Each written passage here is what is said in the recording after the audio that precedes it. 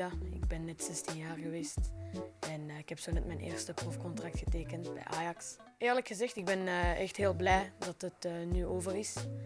En ja, ja het, was, het was aangenaam om alle mensen te leren kennen en ik ben zeker tevreden.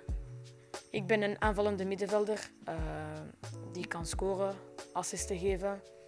ik ben tweebenig, technisch ook. Ehm, ik heb een goede uh, speloverzicht. Ik kan ook goed koppen. Dat ook. Uh, goede steekpassen. Wat zijn jouw plannen bij Ajax? Mijn plannen voor nu zijn uh, eerst de minuten maken in onder 17.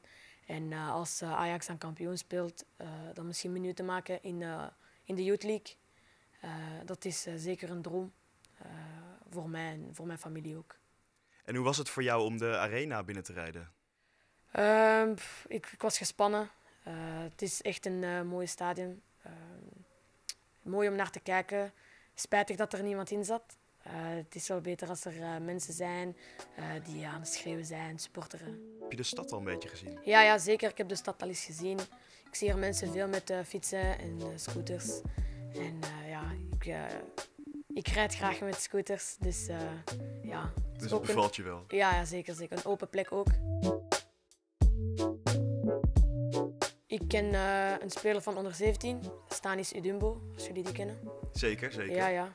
Heb je hem al uh, gesproken? Ja, ja, zeker, zeker. Hij heeft mij ook uh, twee, drie dagen geleden gefeliciteerd. En nu zijn we dikke vrienden. En nu weet ik dat als ik eenmaal dat ik hier kom, dat ik weet bij wie dat ik terecht moet komen. Fijn dat je al een maatje hebt om mee op te kunnen trekken. Zeker, zeker. Naar wie kijk je het meeste uit om verder te ontmoeten hier bij Ajax? Ryan. Gravenberg, ja. Is dat een uh, idool van jou? Van Ajax, ja. Samen met Anthony. Ook technisch een beetje. Uh, hij draagt een beetje dezelfde naam als mij ook een beetje. En uh, ik hou van zijn speelstijl. Spijtig genoeg ben ik niet zo lang als hem. Maar, maar dat komt nog? Dat komt nog, ja zeker.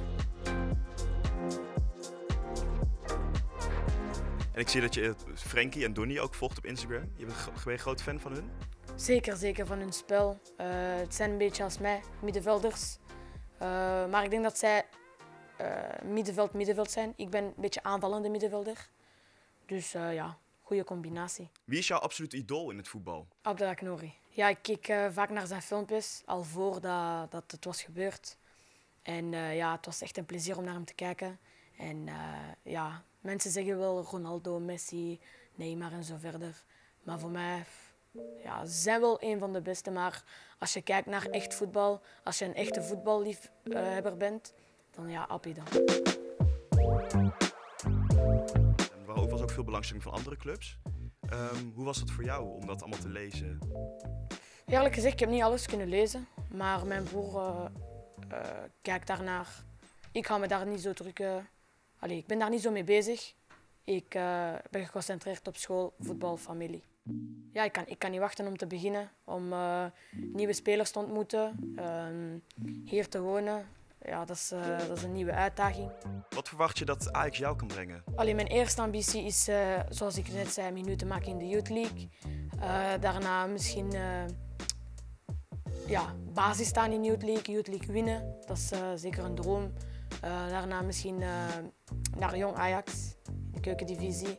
En daarna zo een paar minuten maken in, uh, in Ajax 1 en dan uh, daar blijven. Hè. Dus je hebt genoeg dromen om na te streven? Zeker, ja. ja.